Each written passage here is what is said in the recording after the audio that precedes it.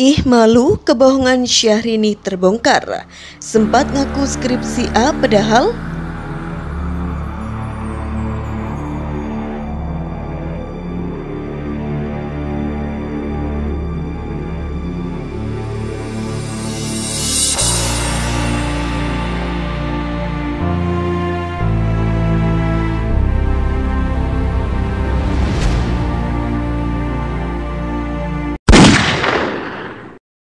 Dapur berita artis terkini. Hai guys, semoga kabar Anda baik-baik saja. Selamat datang kembali di channel Duster Infotainment. Terima kasih karena sudah memberikan support dan juga kesetiaan Anda untuk membangun channel ini. Publik figur Syahrini beberapa kali menjadi sorotan netizen karena kisah-kisah dan cerita yang dibagikannya dan ternyata tidak sesuai dengan fakta yang terjadi, termasuk soal kehidupan pendidikannya. Dikutip dari grid.id, dirinya mengaku lulus pada tahun 2007 dari Universitas Pakuan Bogor, khususnya dari Fakultas Hukum. Hal ini terekam pada saat dirinya berkunjung ke mantan sekolahnya tersebut. Ia kemudian bertemu dengan salah satu dosennya di sana dan menegaskan bahwa ia lulus pada tahun 2007 silam dengan nilai skripsi A. Selamat siang pemirsa di rumah. Hari ini saya silaturahmi dengan alma mater saya Universitas Pakuan Bogor. Saya kan fakultas hukum dulunya lulusan tahun 2007 ya pak. Jadi jauh sebelum aku jadi penyanyi harus sarjana hukum dulu. Jadi memang background education aku itu sarjana hukum Ungkapnya ia mengaku dapat nilai A dalam skripsi atau syarat kelulusannya. A skripsiku dan aku termasuk salah satu yang cepat kuliahnya, sambung Syahrini. Seakan netizen tidak bisa mengecek kebenaran dan fakta, terungkaplah bahwa ternyata pemilik nama asli Rini Fatima Jailani tersebut adalah angkatan 2001 yang lulus pada tahun 2010 bukan 2007 sehingga bisa disimpulkan ia kuliah selama 9 tahun lamanya dan bukan termasuk yang cepat lulus. Dengan fakta yang tertera dari Pangkalan Data Pendidikan Tinggi, Kementerian Riset Teknologi dan Pendidikan Tinggi. Malu kebohongannya terungkap oleh netizen daripada ngaku-ngaku berikut ini adalah 4 tips kuliah cepat dan dapat nilai A tanpa tipu-tipu.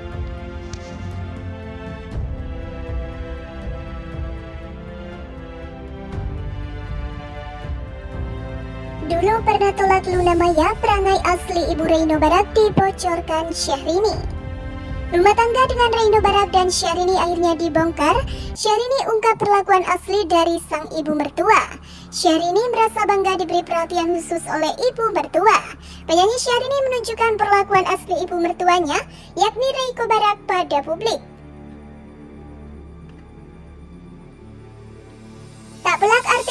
Akrab disapa Ijaz tersebut pamerkan sikap asli ibunda Reino Barak.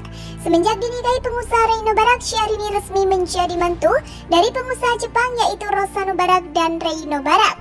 Kehidupannya pun berubah seiring berjalannya waktu, Syahrini memilih untuk meninggalkan panggung hiburan. Kini hari-harinya disibukkan untuk menemani Reino Barak. Dilansir banjarmasinpost.co.id dari Instagram pribadi milik Syahrini, at Princess Syahrini. Pada hari Jumat kemarin, Incas mengunggah foto terbarunya melalui media sosial Instagram itu. Incas kembali mengunggah foto OOTD namun kala itu dia membagikan foto saat dirinya memakai baju pemberian dari Reiko Barat. Syahrini mengatakan bahagia karena diberi perhatian khusus oleh sang ibu mertua. Apalagi warna baju pemberian Reiko Barat merupakan warna kesukaannya, yakni warna ungu. Matchy Day dengan memakai baju dari mama mertua yang tahu banget menantunya suka sekali. Dengan warna ungu, terima kasih mama, tulis Syahrini. Incas lantas memadukan baju tersebut dengan aksesoris penunjang seperti tas hermes, hijab, jam tangan, kacamata, sendal hingga perhiasan. Foto tersebut diambil saat Syahrini sudah berada di Singapura. Ia berdiri sembari tersenyum tepat di tepi kolam renang dengan latar belakang gedung tinggi dan langit biru. Tak ketinggalan momen ini juga dimanfaatkan untuk promosi hijabnya yakni Fatimah Syahrini Scarf. Dan tentunya selalu memakai hijab ternyaman di dunia, Ed Fatimah Syahrini dipadu-padankan dengan tas koleksi zaman dahulu kala. Jumat barokah untuk kita semua, Jumah Mubarak sambungnya. Syahrini dan Reino Barat balik ke Singapura. Penyanyi Syahrini kembali ke Singapura lagi bersama sang suami Reino Barat. Setelah merayakan Hari Raya Idul Adha 2022 di Jakarta, kini artis yang akrab disapa Incas tersebut kembali lagi ke Singapura.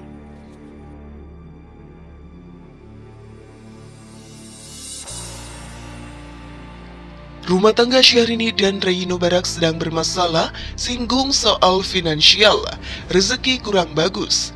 Kehidupan rumah tangga Syahrini dan Reino memang kerap terlihat harmonis dan romantis dalam media sosial. Namun siapa sangka garis jodoh Syahrini dan Reino justru diramal kurang baik. Ramalan tersebut terungkap dalam unggahan akun Instagram @danyulnyinyir 9999 Akun tersebut membagikan tangkapan layar Instagram story yang diduga dari akun salah seorang paramal. Dalam tangkap layar tersebut terlihat netizen yang mempertanyakan soal rumah tangga Syahrini dalam question box. Apakah Syahrini langgeng sama Rino? Tulis netizen. Yang mengejutkan sosok yang diduga peramal itu mengatakan bila garis jodoh Syahrini sebenarnya tak baik. Bukan hanya garis jodoh, rezeki pun demikian. Ini garis jodohnya dari awal sudah saya baca kurang bagus bagus. Tapi semoga saja tidak bisa ya ungkap sang peramal. Tak hanya itu, sang peramal yang tak diketahui namanya itu juga menyinggung soal kondisi finansial Syahrini dan Reino yang kurang baik. Jika garis jodoh kurang bagus, rezeki mungkin akan kurang baik juga, kurang total atau seperti sedikit regup sambungnya. Sejumlah netizen pun ramai mengomentari unggahan tersebut. Mereka justru menilai ada ramalan maupun tidak hubungan rumah tangga Syahrini dan Reino disebut akan berakhir tak baik. Nggak usah diramal juga semua sudah tahu kata netizen. Jangan percaya ramalan ya kita nonton aja realitanya apakah restu bertahan sampai lima tahun ke atas sahut netizen lain.